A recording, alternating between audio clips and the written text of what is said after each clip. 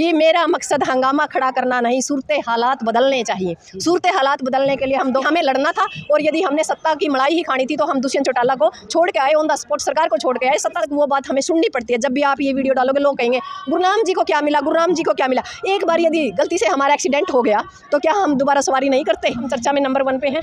पर्चा हम भर सकते हैं। बात रहेगी खर्चा की। धरनों पर बैठने वाली सिक्किम। जी।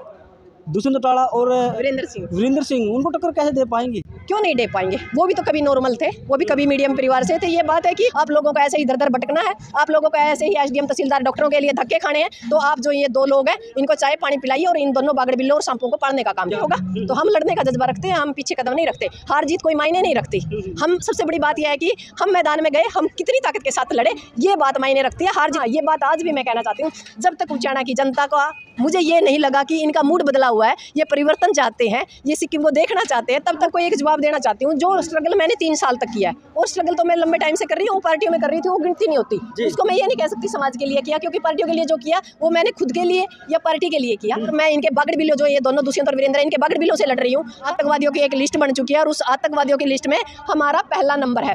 जारियान टीवी और प्रॉफिट की बात देखने विक्रम की राम राम और भी आप सभी का स्वागत है। चाहूँ भी जींद ज़िले के उचाना में और उचाना मेरे पीछे आप देख सकते हैं, जो यहाँ पर है, दस महीनों से है, लगातार यहाँ पर धरना यहाँ पर चला हुआ है। डॉक्टर सिक्किम, जो किसान नेत्री है, जो एक पोस्टें काफ़ी जो वायरल हो रही हैं, और जो उचाना से है, वो चुनाव भी लड़ सकती है। आखिर हम इसकी पड़ताल करने के लिए खुद आज हम सिक्किम के पास हम पहुँचे हैं और जानना चाहेंगे, क्या वाक्य में ही उचाना से है, भी वह चुनाव लड़ने जा रही है। तो हम बात करना चाहेंगे, सिक्किम हमारे साथ ही जुड़ चुकी है। जी राम राम जी आपका बहुत बहुत स्वागत है टीवी पर। राम राम जी अच्छा ये, ये बात सच्चाई है कि जी मतलब चुनाव चुनाव की तैयारी होगी?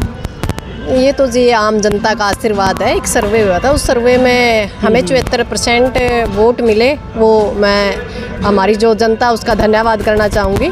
पर अभी ऐसा कोई मूड नहीं है क्योंकि आपको पता है कि परिस्थितियाँ लगातार बदल रही हैं। सभी पार्टियाँ सर्वे करवा रही है। और हमें नहीं लगता अभी कुछ कहना जल्दबाजी होगा क्योंकि किसी फ़ील्ड में उतरने से पहले हमें बहुत कुछ तैयारियाँ करनी पड़ती है। तो मुझे नहीं लगता कि हम उस जगह हैं जहाँ भाई मैं यहाँ दो दुरंदर हैं आपको पता है। जो ख़ानदानी दुरंदर हैं उनके पास पैसा है उनके पास आईटी सेल है उनके पास उनके पुराने वोट भी हैं।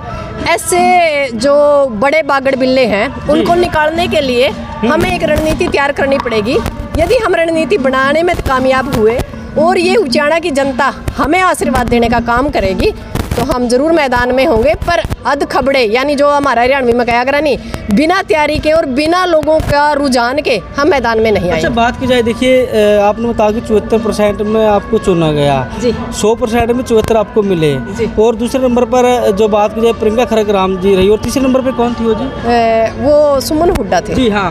तो मतलब आपको ही फ़र्स्ट क्यों चुना? क्योंकि किसान नेतृत्व वे भी है, वे भी हरियाणा में किसानों का साथ देती है, हर जगह या आंदोलन की बात की जाए, कोई भी समस्या है तो हर समय आगे मिलती है तो आपको ही क्यों चुना आप में ऐसी क्या खासियत? पता नहीं जी, वो तो वही बात है, ये समाज पता नहीं हमें किस एंगल से देखता है, पर जहाँ तक मैं जानती हूँ तो लोग ये कहते हैं कि आप बड़ा बेबाक बोलते हो, दिल से बोलते हो, और आपको जो आपको समस्या लगती है, उसको पकड़ने के आपके अंदर एक समझ है, और आप वाक्य में जो धरातल से जुड़े हुए उस धरातल के ऊपर काम करते हैं, क्योंकि मैंने ये देखा है कि लगातार तीन साल से हमने जो मेहनत की है, उसका रिज़ल्ट आज भी मैं ज़ीरो मानती हूँ, ना हमें एमएसपी मिली, साढ़े सात सौ किसानों की शादत हो गई बार बार हमारी बेटियों को जंतर मंत्र पर घसीटा जा रहा है मणिपुर के अंदर हमारी बेटियों का चिरहरण हो रहा है तो सत्ता परिवर्तन नहीं व्यवस्था परिवर्तन करनी चाहिए और ये मेरा आज का आगाज़ नहीं बड़े लंबे टाइम का आगाज़ है। मैं चाहती हूँ कि इस सत्ता के अंदर जो सरकार हमारी जो मोदी सरकार आपको पता होगा कि तैंतीस प्रतिशत आरक्षण लेके आई है महिलाओं के लिए। अब उसके पास विकास के नाम पर कुछ करने के लिए है नहीं क्योंकि ना वो पंद्रह करोड़ देने की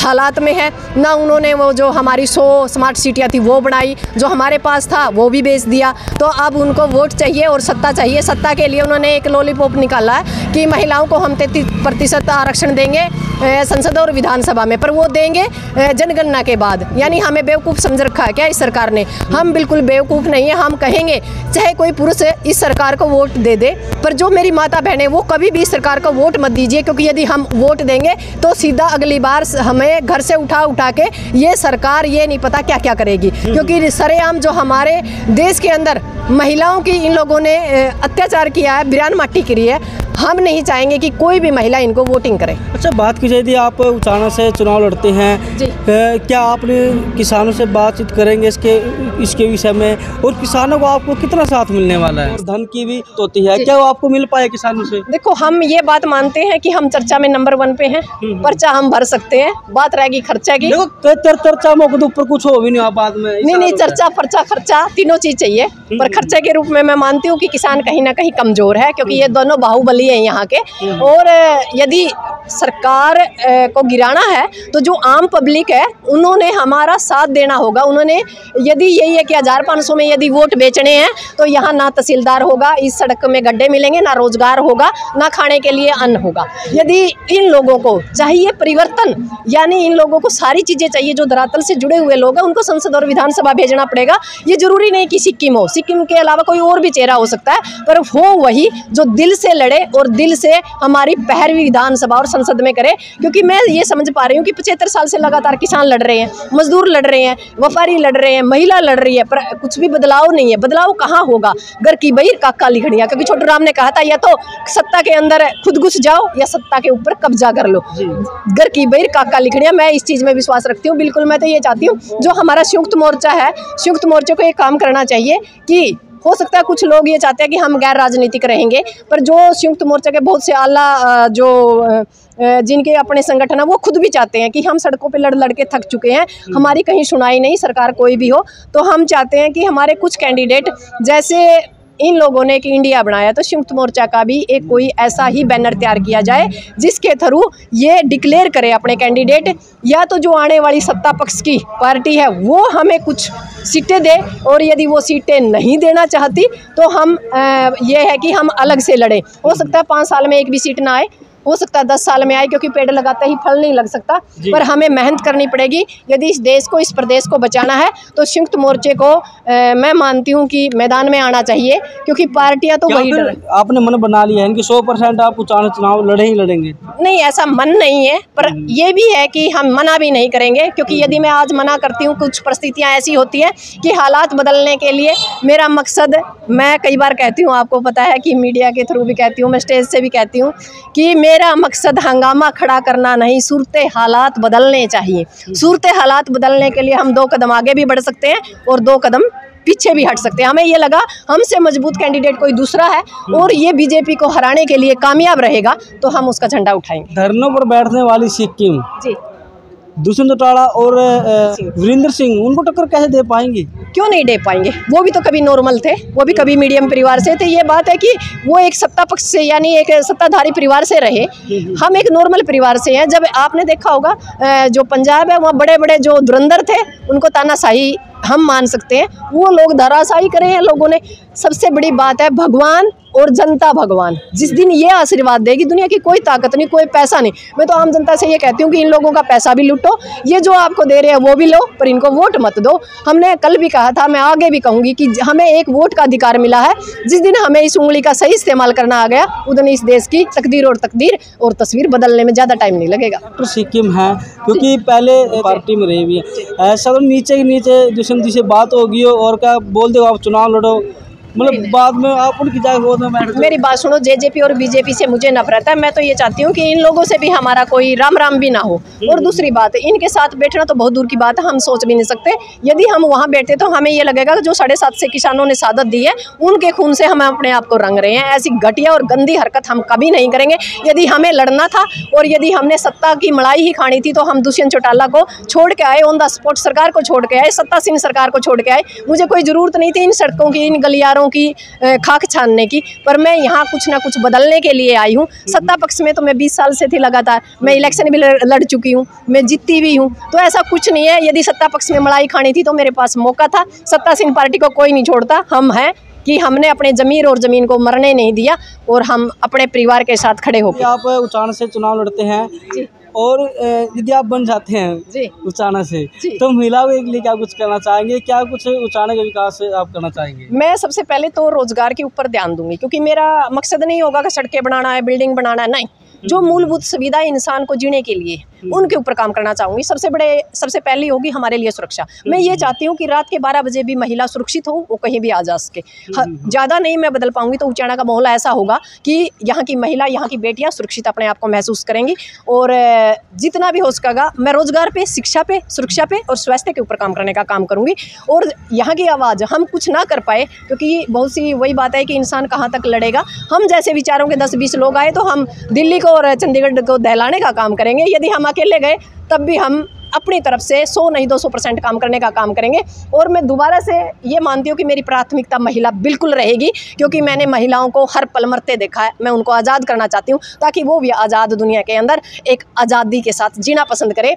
ऐसा नहीं कि हमें तैंतीस प्रतिशत आरक्षण दे दिया पचास परसेंट आरक्षण दे दिया। मुझे कागजों का आरक्षण नहीं चाहिए हमें आरक्षण धरातल पर चाहिए। हमें बराबर का अधिकार चाहिए और बराबर का मान सम्मान चाहिए। जी देखिए जैसे कि स्टार्टिंग में आपने बताया था कि चौहत्तर परसेंट आपको वोट मिले थे। जी। और तीन उनमें तीन किसान नेत्री थी। ऐसा ऐसे के बाद में वो चौहत्तर परसेंट की बजाय जो पीछे अगले जो अगला साथ वोट के चार परसेंट न रह जाए। वो तो वक्त है सर।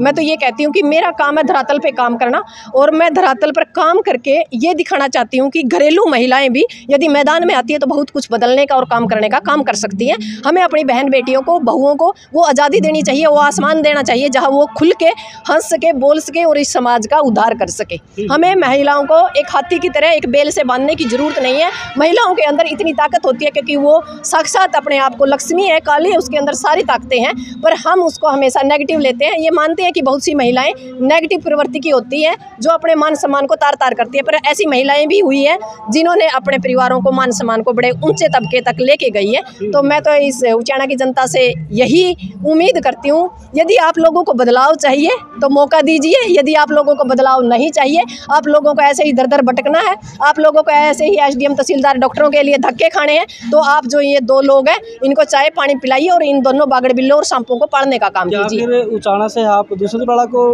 टक्कर देने वाली हैं? नहीं हम तो हमारे दादाजी चौधरी है आदरणीय वीरेंद्र सिंह हमारी आदरणीय दादी प्रेमलता जी और हमारे आदरणीय काका जी। पता नहीं कौन मैदान में होगा। तो हम लड़ने का जज्बा रखते हैं हम पीछे कदम नहीं रखते। हार जीत कोई मायने नहीं रखती। हम सबसे बड़ी बात यह है कि हम मैदान में गए हम कितनी ताकत के साथ लड़े ये बात मायने रखती है। हार जीत का कोई मामला नहीं। हाँ ये बात आज भी मैं कहना चाहती हूँ जब तक उचाना की जनता का मुझे ये नहीं लगा कि इनका मूड बदला हुआ है, ये परिवर्तन चाहते हैं, ये सिक्किम को देखना चाहते हैं, तब तक हम मैदान में नहीं आएँगे, क्योंकि हम गुरुनाम जियों ने एक गलत फैसला लिया था, क्योंकि उस टाइम आंदोलन का टाइम था, और उन्होंने जल्दबाजी में एकदम मैदान में आए वो, उसका उसको नुकसान हुआ। आज तक वो बात हमें सुननी पड़ती है, जब भी आप ये वीडियो डालोगे, लोग कहेंगे गुरुनाम जी को क्या मिला? गुरुनाम जी को क्या मिला? एक बार यदि गलती से हमारा एक्सीडेंट हो गया तो क्या हम दोबारा सवारी नहीं करते? हम दोबारा भी सवारी करेंगे, और इस जो स्थिति हमारी पंजाब में किसानों की हुई है, उसको बदलने का काम करेंगे। उस टाइम जो माहौल था वो अलग था अब माहौल अलग है। क्योंकि परिस्थितियाँ बदलती रहती है और हम परिस्थितियों के अनुसार काम करने वाले इंसान हैं। हमें ये लगा कि उचाना की जनता ये चाहती है कि इन दोनों परिवारों में से ही कोई हो। हम किसी गरीब के मजदूर के आम पब्लिक में से किसी को नहीं अ, मतलब अ, उस प्लेटफार्म पे देखना चाहते उस विधानसभा या संसद में नहीं देखना चाहते तो मैं बिल्कुल नहीं आऊँगी। देखिए बहुत सारे लोग मन में ये भी विचार होंगे कि जो डॉक्टर सिक्किम है। किसानों के साथ रहती थी या बात की जाए कहीं पर धरने पर बैठती थी चुनाव लड़ने के लिए ऐसा कुछ कर रही थी? नहीं मैं उन लोगों को एक जवाब देना चाहती हूँ जो स्ट्रगल मैंने तीन साल तक किया है। और स्ट्रगल तो मैं लंबे टाइम से कर रही हूँ पार्टियों में कर रही थी वो गिनती नहीं होती। उसको मैं ये नहीं कह सकती समाज के लिए किया क्योंकि पार्टियों के लिए जो किया वो मैंने खुद के लिए या पार्टी के लिए किया। पर जो आज मैं स्ट्रगल कर रही हूँ ये समाज के लिए कर रही हूँ। जितने केस लगे हैं समाज की वजह से लगे हैं। हर रोज़ हमारे बारे मतलब हमारे दरवाजे पर जब पुलिस जाती है तो हमने कोई क्राइम नहीं किया। एक महिला हर हर परिस्थिति से लड़ रही है मैं घर लड़ रही हूँ मैं मैदान में लड़ रही हूँ और मैं इनके बागड़ बिल्लो जो ये दोनों दुष्यंत और वीरेंद्र इनके बागड़ बिल्लों से लड़ रही हूँ। हर पल मुझे लड़ना पड़ता है हर बार मुझे अपने आप को चितार्थ करना पड़ता है कि मेरी ये मनसा है मैं ये करना चाहती हूँ। बार बार सफ़ाई देनी चाहती हूँ और बार बार सफ़ाई लोग मुझसे मांगते हैं मैं बार बार सफ़ाई देती हूँ। पर इसका मतलब ये बिल्कुल नहीं है कि हम इलेक्शन नहीं लड़ेंगे। सबसे बड़ी बात यह है कि इन लोगों के दिमाग में यही है यदि हमें सिर्फ़ लड़ने के लिए ही मतलब जनता चुनती है तो हम उसके लिए भी तैयार हैं। पर ये मत सोचिए कि आने वाले टाइम में यदि पाँच साल के बाद जे जे पी बीजेपी की सरकार बनती है तो सांस लेने के ऊपर भी टैक्स होगा। और हमें ये लगता है कि हमें जेड़ों के सलाख जेड़ों जेड़ या सलाखों के पीछे हमें जाना पड़ेगा। हम नहीं, हमें नहीं लगता कि हमें खुले आज़ादी या खुले माहौल में हमें सरकार सांस लेने देगी, क्योंकि आप लोगों को भी पता है, आतंकवादियों की एक लिस्ट बन चुकी है और उस आतंकवादियों की लिस्ट में हमारा पहला नंबर है। और आतंकवादियों को खुला नहीं छोड़ते। हम देशभक्त आतंकवादी हैं तो सरकार ज़ाहिर सी बात है, ये सोचेगी यदि ये बाहर रही तो ये जनता के जागरूक करेगी, इसलिए इसको अंदर ठोका जाए। तो ये तो काम अब मतलब हमारी जो जनता है ना जनता भगवान होती है जनता जनार्दन होती है इसको सोचना है इसे चाहिए क्या? इसको सिर्फ़ पाँच किलो अनाज चाहिए या जीने का पूर्ण रूप से मूलभूत सुविधाओं के साथ अपना एक अच्छा समृद्ध और ये कह सकती हूँ कि स्वच्छ उचाना चाहिए। Thank you ji. Thank you sir. तो फ़िलहाल भी आप देख सकते हैं हमारे साथ है डॉक्टर सिक्किम है हमारे साथ है जुड़ी थी जो कि किसान नेत्री है और दोस्तों, क्या कुछ लगता है? जो अभी हमने डॉक्टर सिक्किम से बात की, बातचीत की, उनकी बातों से आपने देख भी लिया कि कहीं ना कहीं होगा कि वही यहाँ से उचाना हल्के से है वो चुनाव लड़ सकती है। दोस्तों, क्या कुछ कहेंगे आप इस वीडियो को लेकर के? तो कमेंट बॉक्स के माध्यम से आप अपनी राय ज़रूर हम फिर हाजिर होंगे किसी नए कंटेंट के साथ। धन्यवाद।